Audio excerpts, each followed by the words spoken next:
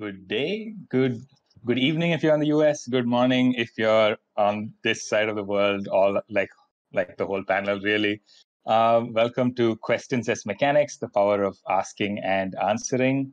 Um, we this is a this is an amazing panel that uh, we've got set up for you with a lot of amazing panelists. So just before we start, just want to thank uh, Metatopia for having us. Thank you for showing up. And uh, with that, we'll get started. I'm I'm Thomas Manuel. I use he/him pronouns. I'm an indie game designer from India, and uh, I also uh, write a newsletter, a weekly newsletter about indie RPGs, uh, which you can find at ttrpg.substack.com. It's a really nice, fun thing for you to kind of uh, follow, and then like I curate whatever happens in indie RPGs. Uh, that's me. Um, Aaron, do you want to go next? Yeah, sure. Thanks for asking me that question, Thomas. Uh, uh, I'm I'm Aaron Lim. Uh, I'm a uh, tabletop game designer uh, based in Malaysia. Uh, he him pronouns as well. And most of my stuff that I do, I have almost all of it up on itch.io. So it's at ehronlime.itch.io, E H R O N L I M E. It's just a very weird misspelling of my name, um, which a lot of people don't realize until I mention it. Uh, uh, that's pretty much it. I, I, I make start like different games, story games, small games, shitpost games. Um, uh, that's that's me.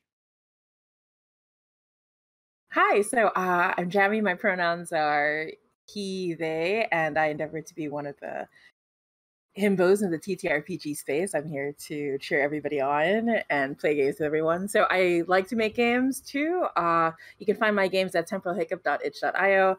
I used to have a problem where I used to try to join every game jam. The last year I've been very good. Uh, I've slowed down. But my biggest projects right now are things like Apocalypse Keys, Once More Into the Void, and our Haunt, which is currently on Kickstarter. So if you want to check that out, um, that would be cool. Uh, yeah, that's that's. I'm sure I'm forgetting something, but it'll come up later. I'm sure. So Logan, do you want to go next, darling? Why, yes. Thanks, Jamie. Um, yes, I'm Logan, he, him pronouns from Australia. I'm trans. Um, here to talk about games, so I should mention my games related things. You can find my games uh, on breathingstories.itch.io and follow me on Twitter at um, ink underscore and underscore stories, where I just talk a lot about tabletop stuff all the time at every given opportunity. I'm going to pass to momatoes. So I'm Omeros, like all of them. The common fact is I'm also an indie game designer. You can find most of my works at omeros.com. My biggest project has been Arc, but even before then, I was already loving making lots of different games, story games, OSR inspired. But my biggest, proudest project has been the Across Dash RPG. Across-RPGC.com, where there is a lot of Southeast Asian games that you can discover for yourself. Thank you for having me here. Yeah, across RPGC is really amazing. I uh, I recommend everyone go check it out. Um, uh, momatoes, why don't uh, you kick us off? So this is a, this is going to be a question that I that is just common for everybody. But uh, momatoes, when I sort of like mentioned this panel, uh, what about questions as mechanics uh, got you excited to participate? How do you use questions in your games? Well, obviously, the first thing that really made me excited about the panel was, of course, um, having you pitch it and hearing who I would be um, being on the panel with. But also, for me, I find questions open a lot of possibility for players not just to passively receive information, but to also participate in the act of co authoring. So they could inject their own flavor, their own story into the question and making sure that the content is customized to the world of their choosing. So that's why I thought, oh, heck yes, questions as mechanics. I really love that topic. Awesome. Uh, Logan, same question. Lovely. Yeah. So um, totally agree with everything Mameto said about opening a lot of uh, possibilities and inviting in participation. Participation. But one thing I love about questions is that you can get really focused on a particular thread. So like, um, and you can get, you know, you can have broad questions like, you know, where did you last time travel to? And then you can get really narrow, like, at what point did you realize that you could never travel back to January 26, 1904? And then, that, you know, that's like, yeah, you know, so questions have a lot of power to really dive into lots of really interesting, juicy detail. Jamie? Yeah, absolutely. I think, um, and this is something that has come up before because questions as mechanics is something that naturally comes up in story games and in a lot of indie games, right? Because, like, like Bim mentioned, that that collaborative aspect is so important. But I think what's really interesting is deciding on your style. Like, let's say if you're a GM and you're bringing in questions, how how much are you going to give, right? So personally, I like to front load like some interesting tidbits just because I feel like it helps the players like latch on to something, right? That they can they can also get into. But there are other GMs who prefer just much more broader questions. So, uh, for example, one of my favorite questions when someone wrote a miss when we were playing Pasiones, Pasión de las Pasiones was uh, when when this mysterious woman with an eye patch comes out with a gun, right? Uh, the, the, the question I asked was, when was the last time you saw her and why did you break up? Right. And so like people are like, oh, right? and that was a result of a miss because in Pasión de las right? Like a miss means that you must have had a relationship at some point. So, Nice. uh, but yeah. Um, Aaron? Uh, yeah, everyone has like such like interesting practical answers to this, so I'm gonna be the one that has the um wonky, wanky kind of like theoretical answer, which is that uh, I think why I was really interested in, in in questions is mechanics because I think that um in tabletop RPGs most mechanics are questions, uh, and that like tabletop RPG design is like pretty interesting and unique in that like most of what you're doing is is asking asking and answering questions. So I feel like questions as mechanics is like a very fundamental part of like RPG design. Um uh, and it's also kind of like uniquely an RPG thing in that like how you ask questions and how you answer them, how you're able to answer them, um, compared to something where in like board games where like questions are like super restrictive, like the the mechanical things that they are asking is very restrictive. Um, and in a lot of like video games, for example, like the way you answer questions is a very kind of like predefined for you. Um, and tabletop RPGs have this like really great um uh, feature of like the way you you interact with questions is like pretty unique to it um and and how we kind of like deal with questions all the time while we are running games while we are playing. Um like all of that is just like asking and answering questions. Like what it like uh, when you know you talk about like a, a a game as a conversation right? Um a lot of what drives the conversation forward is like hey you know there's there's there's um agreements there's like expansion but then a lot of what when you reach like tension points when you can't not not necessarily that you can't agree but you can't sometimes you can't even see like the same world uh, fictional world that someone else is seeing then you elaborate on that or or um uh like twist things around using questions and like figuring out together um even in like the most like like authoritative so to speak gm way like the the the core question is still can i do this? or what happens if i do this? Like it it still comes down to like questions so like i i i I think it's really interesting uh topic to to cover because i feel like it's a very fundamental building block of like tabletop rpgs Yeah, I just wanted to say, Aaron, I was I was prepared for a shit post of an answer, then you went professor on me. I'm very upset. Is this is this some sort of tactic? anyway, that was an excellent point. I just wanted to say that. Yeah. Um, yeah, this is a point that uh, I think Aaron and I have talked a lot about before. Uh, I think generally, I think what Aaron's saying is like more true of story games.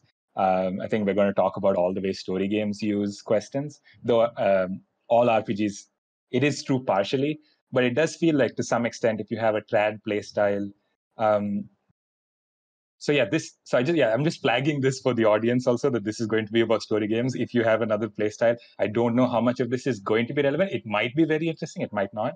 Like it feels like in a trad play style like the only real questions are like what do you do? Uh, in the sense what the gm asks the players right? Like what do you do? How do you want to do that you know things like that.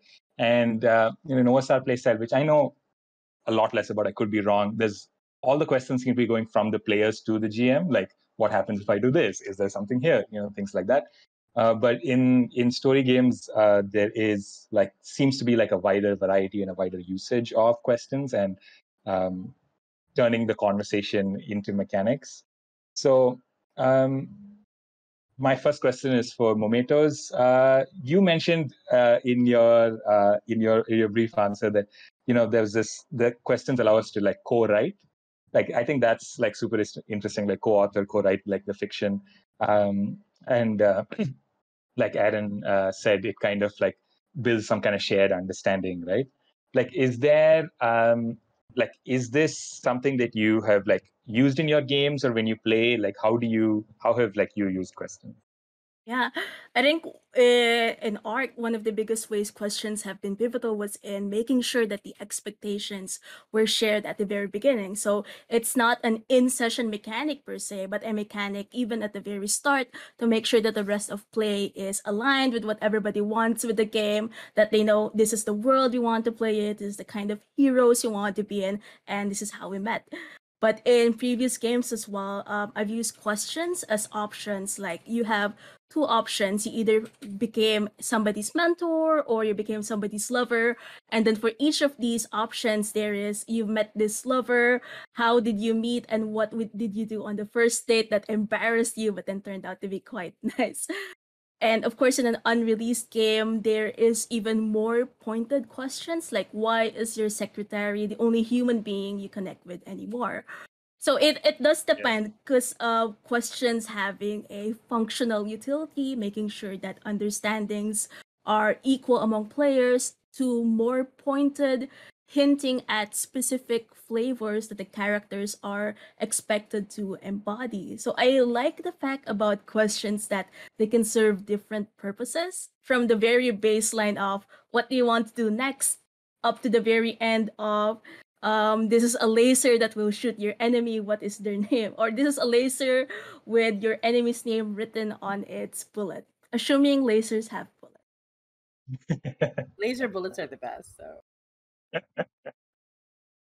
um, yeah, thank you.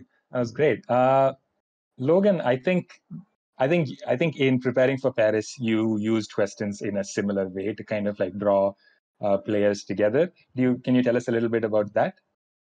Yeah, um, yeah. Echoing momatoes, how questions have lots of different uses. Um, one use that questions can have is to yeah guide players to take certain actions. Um, yeah, as as mechanics in that way. So preparing for Paris in the um, preparing for Paris is a game where you are all high school students, but you're all personified sports, and you're all trying to graduate top of the class to become real Olympic sports.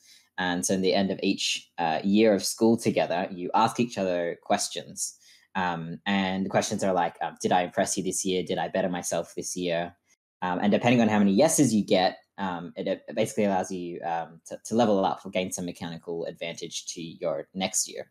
So these questions are uh, in character, but they also have a mechanical influence uh, in, in bettering your stats. So um, without explicitly saying so, uh, it drives the players to want to play in such a way that those uh, that their characters will get yes as the answer, um, so that they can level up. And each of these questions um, if you were to answer yes, it means that you've connected more with the other characters or you've put in an effort to get to know them or um, yeah, tried to build relationship with them. So yeah, questions can yeah act as, as guides as well, um, which is yeah another way on top of what Mometo has already stated. I think I think that's that's that's really interesting what you said because like I think in uh, in another game you can imagine like choosing your stats first and then there being some kind of dissonance where you realize in play that you what you actually want to do is roll your like burst stat all the time or something like that.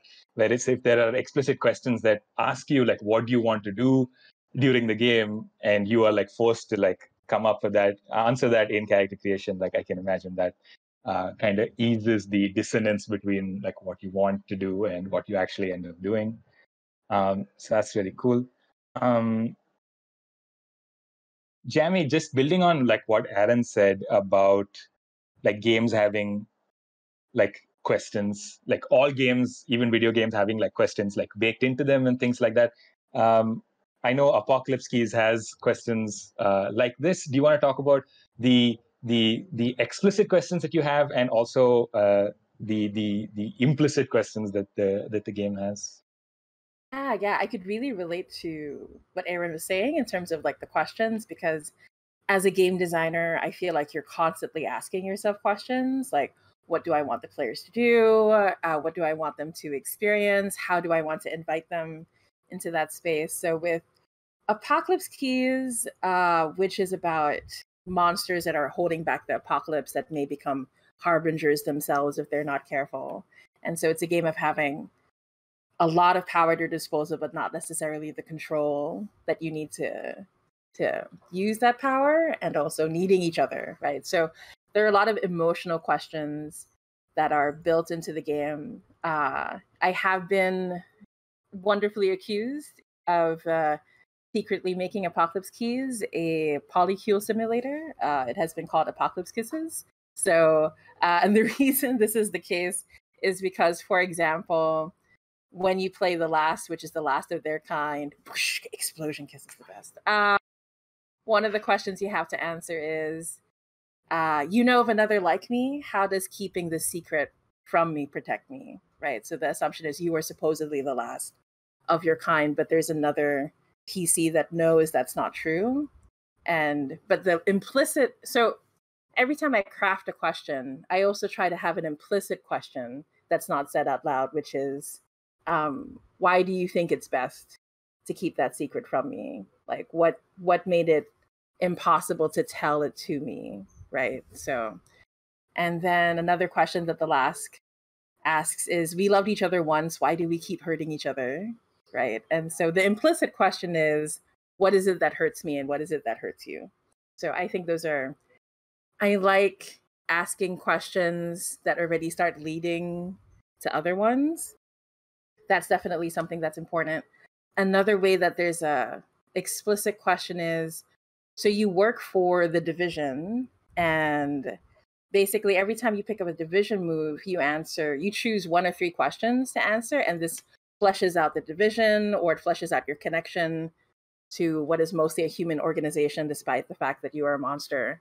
And usually the questions lead to the creation of a npc or another character. Um, mostly if you play a jammy game there are going to be like lots of npcs and uh, i feel like because as a gm i'm sorry as a as a game designer i feel like npcs are really important to like prop up those mirrors so i try to insert those opportunities to create npcs as much as possible to create connections as much as possible. I also realized only recently, like in the last month, that 80% of the moves in Apocalypse Keys are pointed at another character.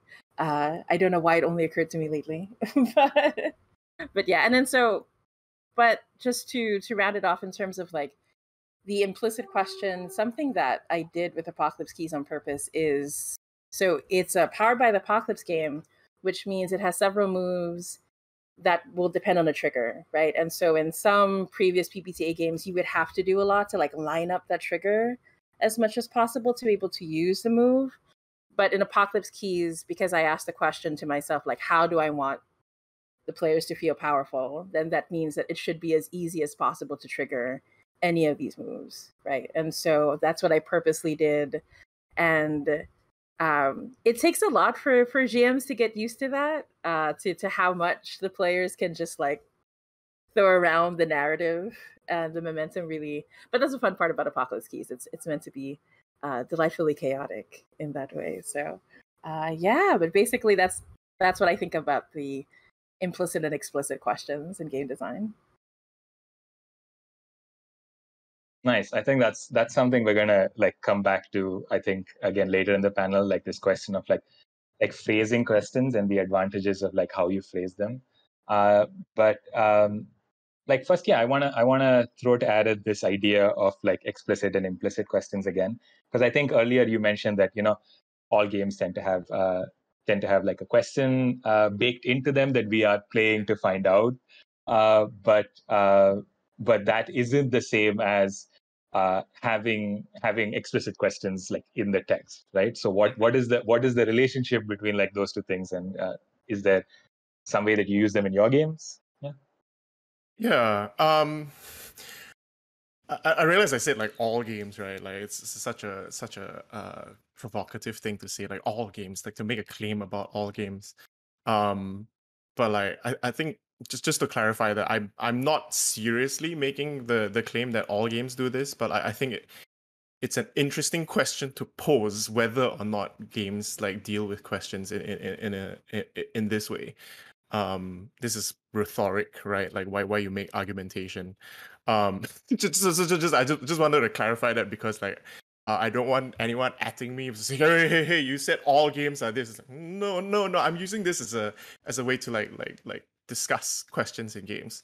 Um, so in terms of like like how to to step up from that like high level, hey, what what a, what what is a game about, right? Like that's like that's a very common question to have. Like like Jeremy, you mentioned as well, like um in, in making apocalypse keys you ask yourself like the questions or you want the gm to have the question of like hey how do i make the players feel powerful or dangerous right two sides of the same coin powerful and power power and danger is like the like very like interlinked things um so that's like a question that the game asks um and i was i, I read a, a, an interesting thing um uh Vincent Baker, I believe, recently wrote something about like, hey, uh, trying to figure out like what uh games do to to to um for like a scoring rubric for, for like school. Uh, like you know, if you did an independent project about games for school, and then and that led me to like like like I think what he was writing about like oh what is the the key question about like uh apocalypse world is like oh what will you make of the world? Right? And then um, from that you can kind of like like figure out the questions that you ask in play that the explicit questions that you have uh, either me- as like disguised as mechanics or not disguised but like expressed as mechanics or literally written down as like like questions right um similarly like like i think what what he said about like what d&d's common question is like how do you prosper in a dangerous world? Right? Like that's a question that that that, that because like you know like there's no end goal uh, i think i think the, the context it was coming from is there's no like win condition in in in um a lot of tabletop rpgs so what you're trying to do is just continually asking and answering this question. Like how do you prosper in a dangerous world is something that you can keep asking because like you if you prosper a bit then it's like okay now the world like continues to be dangerous or maybe the, the world is less dangerous what does prosperity mean after that right? What does it mean uh, like it changes the, the, the same question gets asked again in like different ways. Um so the way i think about it is that like and, and the way i, I kind of like like try to distill something from like a very high level theory thing down to something practical in like game design is, is um to figure out like the the core questions that you're asking with the game um and figure out uh, how you use the questions to kind of like reinforce and and uh, support like the the so-called core questions of the game. Um and so so the way the ways I, I i like doing this like, like something that all the other panelists mentioned as well like questions can serve different um uh purposes right?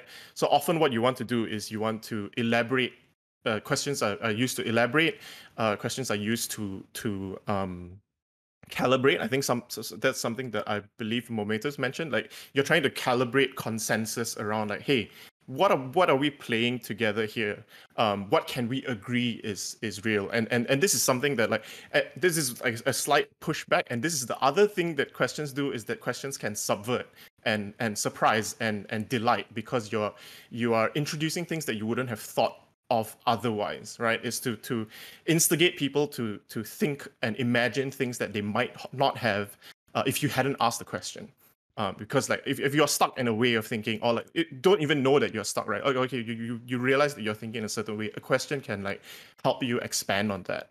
Um and so so my my subversion is that like i think it's not just story games that like deal with questions right? Like a lot of like traditional games and maybe even osr games um there is a skill in like GMing well, do, GMing those games well, and it's about figuring out how to ask questions of the players. Um, I, I find that like the culture around like like traditional OSR makes those questions like the oh these are good questions to ask your, your players makes that not part of the text usually it becomes a thing of culture right about building play culture and building um uh game culture around a game. Like these this is how a game uh, a, a D&D game or like a, a a different like traditional game asks questions. But like it's never explicitly stated in in like a book or something like like like that right? It's like everyone finds their own style that that's kind of like the appeal of, of that sort of game or like the, the the thing that they sell. Is like oh you you find your own style and then you you make it work right? And one of the things the criticisms of story games is that it feels uh, restrictive if you provide a list of questions right? Which again i counted as like no it's not a restriction. It is an invitation. It is an invitation. It, it, it, these questions are also subversions to try and like hey you might be asking the same questions all the time. Here are some new questions that you might use that you might not have thought of right?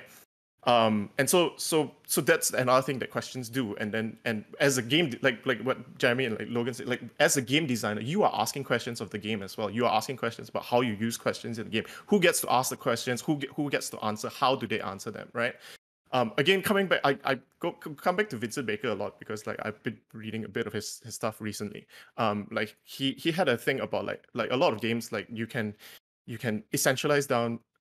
And again you know this is a this is I don't think it's a claim about all games, but like like trying to like figure out uh, uh, uh, how to explain a game quickly is like oh you have a starting position, uh, you have a question about like how you would react to that, and you have the tools of like how you answer those questions. That's kind of like the basic three corners that you need to, to, to for like every game. It's like what's the starting position, what are the questions you can ask, what are the tools to answer those questions, right? Um, and so when you when you're designing questions for a game, if you keep thinking about like the other questions that you're asking high level and then figure out at the low level what your your specific questions are doing that subvert that su- support that elaborate on like the other questions that you're asking in the game i think that's that's the way that i i think about like using questions that's like a more high level theoretical i don't have like concrete examples like everyone else here has um but yeah uh theory sorry for the long answer No, no, that was that was a great answer. answer. Yeah. Yeah. that's really cool. Uh, if I could also jump a bit on that, because something that you said, Aaron, about uh, story games using questions and options as an invitation also made me realize that questions are like useful touch points for the players or the GM to know what is possible in the game and also what is being normalized in the game. Like when I play D&D, for example, something that I would always ask the GM or my fellow players would be, how many more XP until the next level?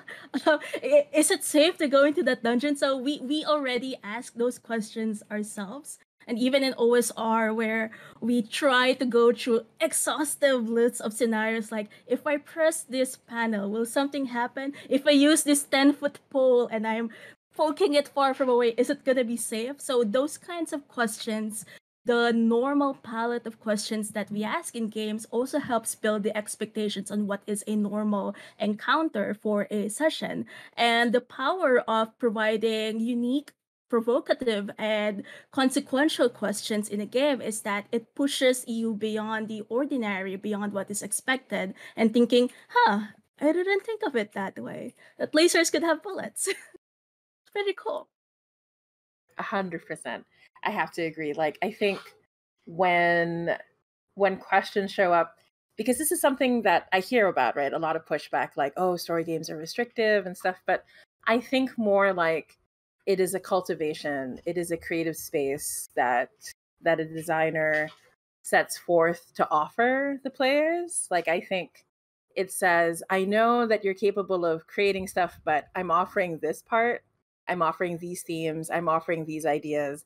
And I'm asking you, how do you want to build off of them? Right. So rather than restrictive, I think it's just a it's just a path, right? And there's several paths to take. And I cannot imagine every path for you. Like the thing with Apocalypse Keys uh, I received some pushback in terms of like the mysteries that are offered because I, I offered like a very strong premise for each mystery, but then after that it just completely opens up, and so people are like, "Oh, couldn't you like uh, like give what I'm supposed to fight or what I'm supposed to do. And I was like, well, it's because your players are answering all these questions about who their characters are.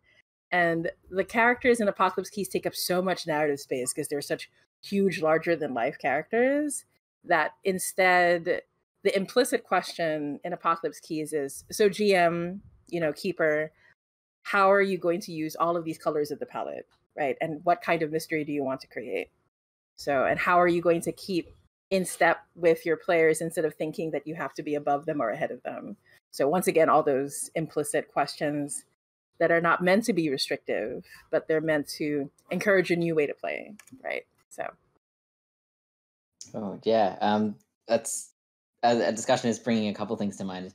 Uh, we've been talking a lot around um, GM'd games and yeah, questions from player to GM and GM to player and in that circle. But um, yeah, what about GMless games? I feel like questions are super important in GMless games because they serve to drive the story forward a lot of the time um, and provide that guidance where a, is what a GM might do in a GM'd game. Yeah, so that just came to mind.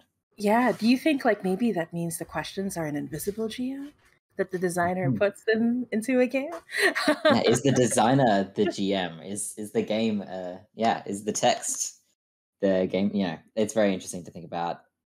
Thinking about GMless games, I often think about it as playing with the designer, um, as the designer being in the text, and so yeah, it's it's a sparks a different conversation around the term GMless and GM full and symmetric and asymmetric play, but that's that's a different conversation. It's very interesting that you brought that up because uh, you made a game that was about you being, yeah, the players taking the part of you as the designer. Um, so like, like I get, see, I, I don't know whether like like that that that like had a, a path from like how you got up to to making Logan the autobiographical game, um, but like that is kind of like like kind of what you're doing. Like you said, like yeah, yeah, there's no GM here. It's there's just me. and you're I hadn't I hadn't thought about it that way. That yeah, I have that view of, of GMless games, but I mean maybe subconsciously that fed in. No, uh, Logan, let's just continue with what you were saying, right? Like, and there's been a lot of talk about explicit and implicit questions. Uh, like, I know you've made a game that was entirely made of questions. So, like, and was, but my question to you is, were any of the questions that you explicitly spelled out the re- the question that the game was asking, or did you were, were they kind was that kind of like hidden? Oh, that's a great question. Um, so talking about the the question that the game's asking being uh, using uh, Vincent's framework that that Aaron mentioned earlier. So you have your starting state, your question, and the, the tools to answer. So uh, the game that that is fully questions is called um, "If You're Lost, You Can Look and You Will Find Me" time after time, or just time after time for short. Um, and it's where two uh, lovers are inherently, they time travel inherently. They'll go to sleep one day and wake up and they're five, and go to sleep and they're 27 and 83, and, and so on and so forth. Um, and then they realize that there's one person in their life that keeps showing up, uh, and they realize they either are, um, they they will be, or are already in love with this person. And the two of them decide to try and uh, live linearly together. Uh, so the question is, um, yeah, can can you do that? Can you um, break the rules of time travel in your body and live together in a straight line, uh, or a gay line, or any kind of line that you want? Um, but the questions in the text are about uh, your relationship and experiencing that out of order. So questions like, um, you know, uh, today your partner makes you feel a wellspring of joy. How do they do it? and then you ask your partner, "How did you? Um, did you know I, I I would be this happy?" And then you ask yourself, "How do I express this joy?" Things like that. So it's asking your partner and asking yourself. So now all those questions are about the the relationship that you experience, but not the the core um, game itself. Interesting to think about. Oh, and uh, talking about questions as mechanics, like specifically uh, making a two-player game where you talk to each other like that is that is that is a structure right like that is structuring the conversation like around questions and very kind of like that is a great example of of uh, of questions as mechanics um yeah just to say uh yeah you're right it like really strips it right back to the idea of the a game being a conversation where you are uh, asking and answering questions sometimes in a less clear way but yeah this like strips it right back and that's basically all you're doing there is a bit of like movement involved. But yeah, that's basically it.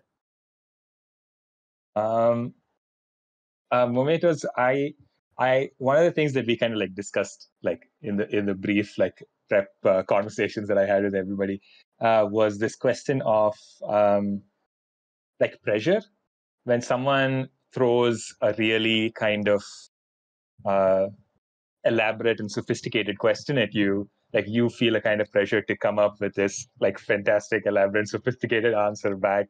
And uh, and and when it's a leading question right? When it is a question that has assumptions baked into it like uh, uh, like questions that that tell you now that you are now in that you were in love with somebody like for example right? Like you know uh, uh, like how how do you think about like mitigating that pressure or like uh, like is it just a question of safety tools? Like how how do you think about that that's a really fantastic question because um we did discuss that the questions are powerful for providing a sense of co-authorship. But what if the the player doesn't want to be an author? What if it, it's not a role that they felt that they were prepared for? And that's actually something that I've seen some pushback against the the concept of being an anti-canon, the concept of being uh, of the GM asking, okay, you see three hooded people, describe one of them to me and i see some people say that um, it, it's not my job. I'm not i don't want to think about that because i i don't i feel pressured or i don't feel creative enough or i feel like the spotlight is being placed onto me so i think there is a lesson in there that you don't just bring this onto the player. There really does have to be buy-in, uh, whether in embedded in the text of your game, uh, preparing them uh, when you were describing, say, a playbook, saying that this is the concept around the character and that these questions will help guide you so that it aligns to a team that would maximize the mechanical options available to you. So just making sure that there is a guidance that this is will be expected is already a big jump in making sure that there is no unpleasant surprises as well. And it just really is difficult as well when you are the shy person in a group of extroverted theater people and you have a questions and you feel you have to perform. So i do feel like i don't know if i'm qualified to say this as an advice but one wonderful thing about games like these is that you can start thinking about them um, even before going to the table, absorbing the questions, thinking about what it implies for the world, and having that session zero, that conversation with the rest of your play members is important as well. Having that reassurance that, hey, it's all right, all answers are valid. We all don't need to be Shakespeare here at the table. Yeah, and actually, I want to jump in and say, uh, as a GM who likes to ask pointed questions, right? Uh, so a few weeks ago, I was running Blades in the Dark, and the my player actually said, you know, I'm I do have an answer, but I'm worried that I'm relying too much on tropes in order to give this answer and but I'll go ahead and give the answer. And and and as we played, so a few minutes later, he actually said, actually can we can we go back? Can we script change that? Like I'm no longer happy with making it a tragic death. I'd rather that it's a it's instead focused on the sibling that I left behind. I don't want to bring in something like that into the story. And so I do think that allowing players to know like if I ask you a question, I'm not expecting you to to have the best possible answer in the moment. It's okay if we either explore the answer together or you ask someone for help or you can just change your mind, right? It's the power of like we're not I, I do think there's this weird pressure, right? A sort of like, I have to be an improv actor and I have to, you know, I have to like but this is a game and this is a story that we're telling together and we can have a meta conversation as much as we like. Like a, a, question i like to ask myself when i'm when i'm a player is how much do i want my character to suffer right? And I, I ask this out loud a lot like just to just to signal to people that i'm game for suffering but i have to think about it. So but yeah i just wanted to jump off that's like excellent points that uh that been brought up mm, and just one thing to add jamie you touched on it as well around um yeah, what happens if a player gets a question and they, yeah, they're not sure how to answer or they're not comfortable to? Um, one thing, you know, I find that, you know, in the moment I can't think of a super cool answer. I look to another player like, well, what do you think? Or, you know, I'm open to suggestions as anyone, you know, throw it to the table. Because again, um, depending on the story and the team, you may feel more or less comfortable. But yeah, I often like to just look at the players around me like, I don't know, what do you think? And that's another great question. What do you think? What do you think happens next? And Yeah, thought- Oh, sorry. Go ahead, Aaron. sorry. Uh, uh, I, I was just gonna ask, like, it, I know I've been asking, doing a lot of like theoretical thing, but like, like practically coming back down to to to the ground, uh, like, what's what's the ways that you can like support that of like not, you know, if if people are not comfortable, um, answering these like loaded questions or like doing a lot of work answering the questions, like, what what are the ways that you can like frame your questions in in that that's or, or maybe giving different op- options for questions that can support that. Yeah, yeah. oh that's. An, I was gonna bring that up. That's we're psychically linked, Aaron. no, because I was gonna connect to how how momatoes brought up that if you already start building in questions during sessions there, like when you make a character and other things, it sort of primes people. Like this is a game where we ask you questions, right? So, uh, but also to your point, Aaron, like I also love to ask questions, but I think what is also a great thing to attach to that is to offer options, right? So the the, the venerable pick list or the the table we like to row on, right? Whatever, however we want to interpret it. So, for example, uh, in my game called Through a Mirror Darkly, which is currently still a Patreon exclusive because I'm still working on it, but basically it's a it's a sci-fi horror game uh, belonging outside belonging, and so one of the when you first create the ship um, I tried to make it like I tried to provide the different options so that they could get the themes of horror, and also it's hard to come up with horror in the moment, right? And so I wanted to give people um, things that they can do. So one of the questions is, what is at the heart of the ship? And one of the options is evidence that God exists that must be kept hidden, right? And so I will say that almost always got picked in playtests, right? And the reason was because people are like, what is the evidence that God exists? But also, why are we hiding it? right? So, but anyway, but but that provides that space for people who are like, uh, I want to answer the question, but I don't want to lean too much on tropes and you know, I feel really pressured, but if I have a pick list, right? If I have options that still provide and I and I always like include one option that's like it's up to you, but I give it a little flavor, right? Just so that, you know, but but just to encourage people to make stuff up if they like it. But but yeah, definitely. Yeah, having that options, even just having a binary option already helps a lot. It's something that I've explored as well. Um, there was a game where you encounter questions throughout the life stage, and those questions are choices of something like you start a completely new activity or initiative. What do you kickstart? Or you can pick a legacy project has been handed over to you. How do you enhance it? So it's fairly simple, but already giving that option makes it much easier for them not to feel trapped in a specific um, question. And something that I really loved about this game as well is that the questions evolve as you play. So because it's a life journey, the questions are fairly happy, optimistic, like you're starting a new project, you're being promoted at work, and then by the end, it's like um, another important opportunity slips you by. Uh, what was it versus um, somebody dumps you, and then how do you um, bounce back from it? So I also love to think that questions are powerful at the beginning, but they should also have the opportunity to grow throughout the game. Like they don't just have to be a static pick list, that pick list could eventually evolve through time and through play. Like when you level up, when you reach the end, or when you achieve some really exciting objective.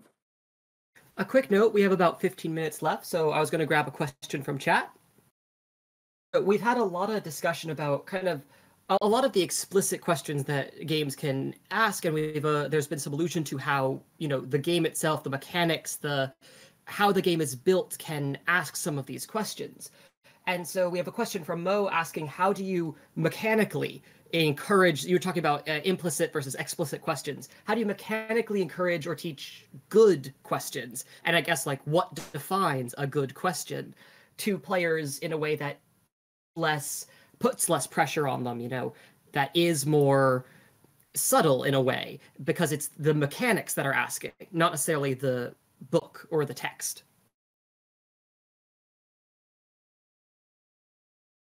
That's super interesting. So just to, I'm just going to reiterate the question so it's clear in my mind. So how do we um, mechanically encourage players to ask good questions?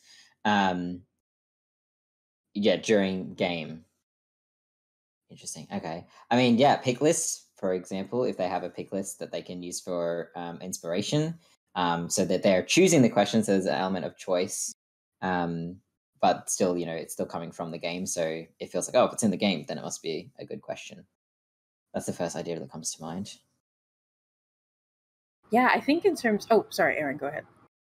Oh no, sorry. Uh, just to kind of build on that, like in a way, um, the way Apocalypse World uh, and like powered by the Apocalypse games, like have um the player principles, uh, or, or like GM agenda that actually usually is a way to like guide towards good questions. Because like hey these are the things that that um should be important to you or like should be important or like these are the pillars that that I thought of when designing the game um you can like adjust the pillars for your game like for example I, I think in Forge in the Dark games like uh, or in Blades in the Dark specifically, it's like, oh yeah, one of the pillars is that it's a dangerous life, but you can change that pillar. You can have a less dangerous ga- games of Blades, and that affects how you ask the questions. So instead of asking like, "Hey, this this person is gonna do things to you," uh, resist it. It's like, you know, you change how bad a thing is, right? Like one of the the the the, the key uh uh things that like I think it's just like having a, a explicit understanding of like like if you understand the context of like asking questions then it, it empowers you to ask better questions i think i think that's like the, the, the first step yeah, yeah, that's that's that absolutely makes a lot of sense. And I think um in terms of the implicit questions that are in the mechanics that are not being asked out loud all the time. I think I first saw something like that when I was playing The Veil, which is also a powered by the Apocalypse game. But instead of having stats that are attached to moves, instead what happens is you have emotions, right? And so the question the question that the game always asks you is, I know what you're doing, I know what move you want, but how do you feel about it? right? And so it really created it helped create this like really like cool cyberpunk emotional story that I like. Really, it really dove into the noir thing. As a GM, I was always asked, "Yes, yes, I know you want to beat him up, but how do you feel about it?" Right? And so I would get really amazing answers like sad because I'm flashbacking to this moment where I had to learn that violence is always the answer. Right? I was like, "Oh, so good." Um, and so in Apocalypse Keys, there is a similar thing where instead of stats, you have darkness tokens that you can collect. And so the question is always, how many darkness tokens are you going to invest, knowing that you can go too far? Because in Apocalypse Keys, and and this is a mechanic from Liberté, uh, which is a really cool game. If you hit an 11 plus, you end up having a disastrous success. Like you can't quite control your powers, you can't quite control the outcome, and you're aiming for an 8 to 10, which is a perfect success. So it's really fun to see in the game where people are like, oh, how much am I going to invest? But is it better to go too far rather than missing? Right. And so there's a there's that small question that gets easier and easier, or sometimes harder and harder to answer, uh, which I really and that's a nice implicit question that's not said out loud, but is brought about by by mechanics. But just to add to that, mine may be a bit more of an engineering analytical framework. But if it's players doing the asking and we want to encourage them to ask uh, more meaningful or more delightful questions or even questions that can help them in the dungeon in d&d or, or osr one useful method that they could use is figuring out what are the known unknowns and the unknown knowns so basically, you will be confirming, okay, I'm not sure if there is an enemy behind that door. So that is a known unknown. I know that that is something I don't know. So maybe I could ask a question about that. And then you could also ask questions about things you're you're kind of sure maybe but you don't have conclusive data to support it, the unknown knowns. So you feel like that person is a baddie. You have a strong gut feel, but maybe you can just ask a few more questions to lead up to a more conclusive, definitive answer for that. So, but this is basically the analytical approach to it that's informed by like design thinking taking a stock of what you know what you don't know and what you want to know and then bridging that gap but on the more creative side, really the best way to know what kind of questions to ask is to explore media, read books, have many wonderful experiences so you know what to expect and you broaden your perspective and possibilities a little bit more. Yeah, exactly what I, was gonna say actually is like the, the best way to like ask good good questions uh, is to figure out and calibrate what you think a good question is and to do that you steal. You steal everywhere. You steal widely. You steal from like media from books from comics from from operas from plays from technical writing manuals right? You steal questions from everywhere. Like when, whenever you know go go go go read like journalist questions and like how they they like uh trick people into revealing more of, of, of, like what what they wouldn't have otherwise right? Or like like examine like different stories like when, when jeremy was talking about like you know being wary of tropes it's like oh i don't want to give the tropey answer. Sometimes give the tropey answer because like that's they that a lot of people have explored these tropes and like asked different questions about it. And maybe like if you if you know that might like push you to like ask like see if you can ask a question that hasn't been asked before right? Like take a question from a soap opera game and ask it in a in a in a dungeon delving game right? Like taking things into different contexts like um that that's kind of like one one way that you can like get more exciting questions. Yeah i do want to say you know that youtube show about the hot wings guy? Like he makes celebrities eat hot wings he asks really good questions. I just want to point that out so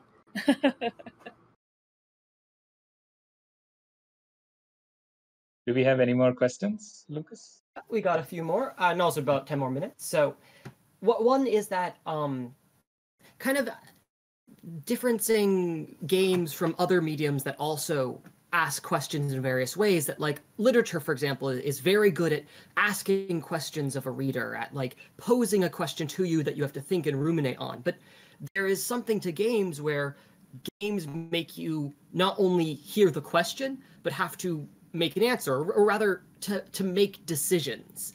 And so, how do games as a medium deal with the questions, not just the asking of them, but the requiring of answering, or the not requiring, but knowing that you will at some point? How, uh, making decisions instead of answering, asking questions necessarily. I think I think the interesting thing about games is that uh, like if there is an implicit question, like you don't answer it usually you just you work your way through it. Like even if you have not cogently kind of sat down and like formulated a response like by playing you end up with a response that you can look back on and kind of uh, in hindsight like talk about and discuss. And i think also as a designer to think these are the questions i'm asking but what is the mechanical output that i expect from the players right? And so maybe attaching and like whatever answer comes out, this will be the mechanical output, even if that means a narrative mechanical output, right? Just so that people can see that that byline, right, would also help.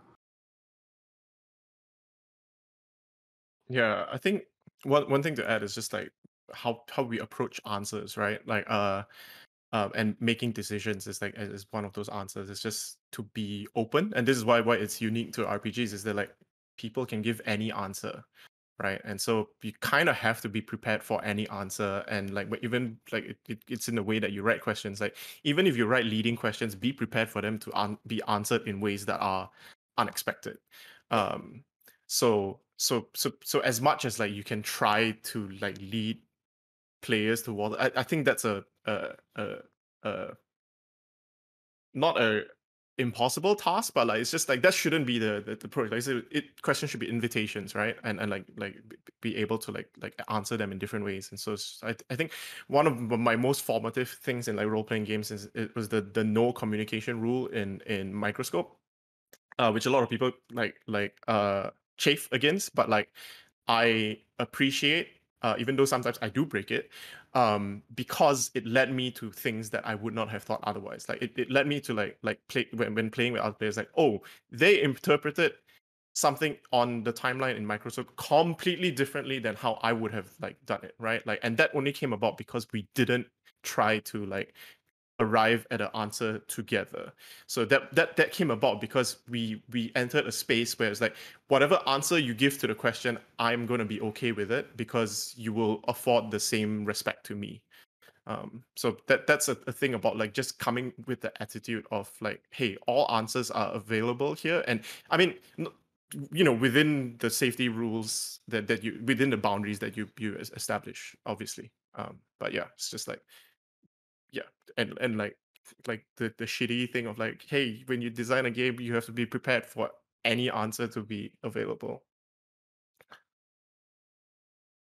To build again on the original premise of the question, like literature already invites us and asks us questions. I think the exciting thing about RPGs is that we get to answer that question and we get to live out the consequences of the answer. And I think Thomas had a really cool um, thread yesterday, depending on your time zone, um, asking what would make an interesting choice for people. And I did think about that. And for me, my answer would be choices and questions that have consequences. So this could be mechanical consequences, but in story games, usually it's also consequences for shaping your character, their motivations. And asking questions, answering that questions, you have to live with what you answer. If you said that your character um, only connects to like um, foreigners because they feel alienated in their own hometown, that shapes the rest of your play. And that's what makes play experiences exciting. You get to see what happens when you close the back of the book.